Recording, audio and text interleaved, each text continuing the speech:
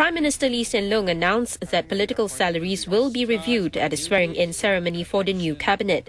Leading the committee is Mr. Gerard Ee, chairman of the National Kidney Foundation and Changi General Hospital. Mr. Ee said he was approached by Deputy Prime Minister Tharman Shanmugaratnam less than a week ago.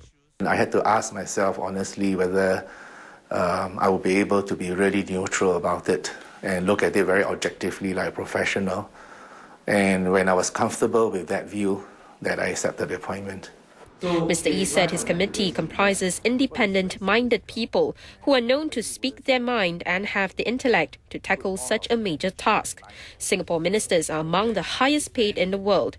Their salaries are currently benchmarked to two thirds of the median income of the top eight earners from six professions in the private sector, such as lawyers. Prime Minister Lee has said that politics is not a job or a career promotion, but a calling. Well, I, I, inclinations, obviously, once the PM says it should reflect the ethos and values of the political appointment, you can expect uh, uh, that in all probability, it would be a cut. The committee will look at job specifications and the general wage levels in Singapore, but work in a significant discount from private sector pay for ministers' salaries.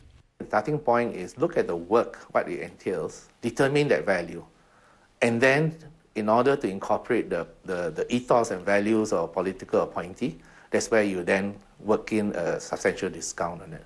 Mm-hmm. Now, the second part is the one that is subjective, and in everybody's mind, they have a figure for the discount. And you will not be able to satisfy everybody.